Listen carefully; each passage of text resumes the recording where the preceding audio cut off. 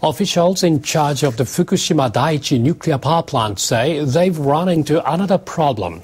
They say a wall they built to stop contaminated groundwater from seeping into the sea has failed. The industry ministry estimates that 300 tons of tainted groundwater are flowing into the Pacific Ocean every day. Engineers from Tokyo Electric Power Company injected chemicals into the earth to harden it and create an underground wall. But they were unable to solidify the soil closest to the surface. Surface. TEPCO workers recently dug a well just inside a new wall to monitor the water level. They found it was slightly higher than the top of the wall. The workers are pumping out contaminated groundwater as a temporary measure. A TEPCO spokesperson says the company has known for the past two years that a massive amount of groundwater was flowing beneath the Fukushima power plant. The official says TEPCO experts estimated hundreds of tons of the water could reach the ocean daily. The figure is based on rough records of groundwater we collected. The figure was not reached with the help of outside experts. We collected it ourselves.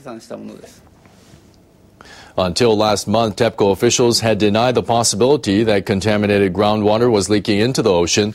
The official says he is unable to explain why it took two years to disclose this fact. Workers at Japan's crippled nuclear plant are ramping up their latest effort to contain contamination.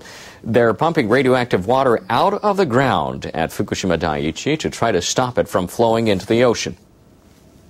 Government officials say 300 tons of tainted water from the site may be running into the ocean every day. Engineers with Tokyo Electric Power Company created an underground wall to try to contain it. They used chemicals to harden the soil near the most heavily contaminated reactors number one and number two. The engineers apparently didn't plan for what happened next. Blocking the groundwater with the wall caused it to keep rising, and the water continues to flow over the top. Crews began pumping up water through a well near the wall last Friday as a makeshift countermeasure. They say the groundwater level has since fallen about 50 centimeters. The engineers are now driving about 30 pipes into the ground. The pipes are roughly 5 meters long. Company officials say the installation will be finished this Sunday. They say engineers will try to pump up 60 tons of water a day and store it at the plant. Still, they warn these measures are not a complete solution. They say contaminated water will still get past the underground wall and flow into the ocean every day. Workers at the Fukushima Daiichi nuclear plant are busy mopping up contaminants. They found that 300 tons of highly radioactive water has leaked from a storage tank. Workers found about 120 liters of water just outside a low wall around tanks at reactor 4. They detected 100 millisieverts per hour of radiation near the surface of the water. The maximum exposure limit for nuclear plant workers is 50 millisieverts per year. Workers checked all 26 tanks in the area. They found that the water level in one tank had decreased from 1,000 to 700 tons. The water was leaking through a pipe used to discharge rainwater from the wall. Authorities at the plant's operators say releasing it helps workers identify radioactive water that may be seeping from the tank. The workers closed a valve on the pipe and the leak stopped. Officials from the Nuclear Regulation Authority are further investigating the leak. They've instructed the people at TEPCO to collect soil samples and quickly determine the cause. Workers at the Fukushima Daiichi nuclear plant are struggling to control the flow of radioactive water. The plant's operator says it will step up monitoring and control of the water leaks from storage tanks. Tokyo Electric Power Company says at least 300 tons of highly radioactive water has leaked from a storage tank into the ground. This is the worst leakage from a storage tank since the nuclear accident in March 2011. The tanks are surrounded by a 30 centimeter high concrete barrier, but the attached pipes were left open to drain away rainwater. Most of the contaminated water that leaked out is believed to have seeped underground. The water inside the tank was treated to reduce radioactive cesium, but TEPCO workers detected 100 millisieverts per hour of radiation near the surface of the leaked water. Only half an hour of exposure to this level of radiation is allowed in the course of a year. TEPCO officials stress there is no alternative to using the tanks. The tanks are easy to build, and in reality, more of these tanks must be used, or else there will be no place to store the tainted water. Workers have started to remove the remaining 700 tons of contaminated water from the tank to find out how the leak occurred. They are also examining soil and groundwater to see if the tainted water has flowed into the sea.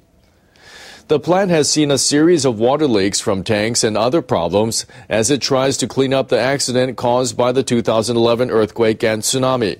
Contaminated groundwater has also been found to be leaking into the sea.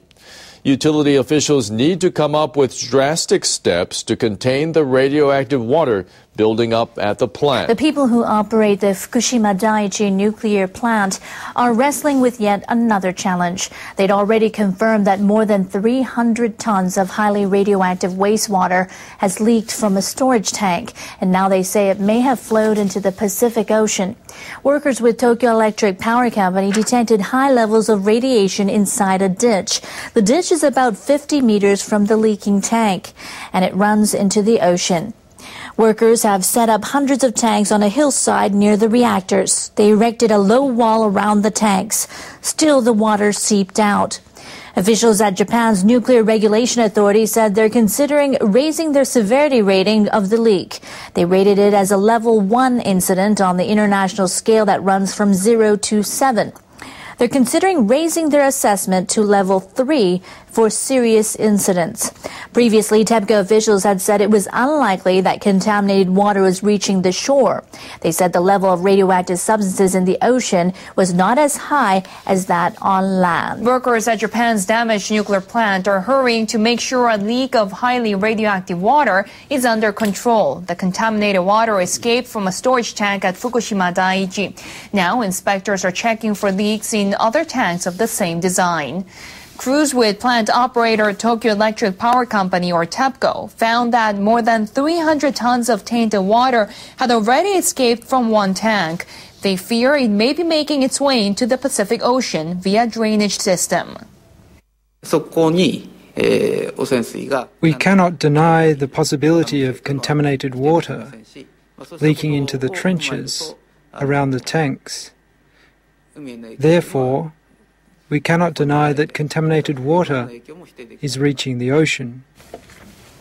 Workers have transferred the remaining 700 tons of water to another container, but they will have to decontaminate the inside of the tank in question before conducting a full inspection. That could take several days.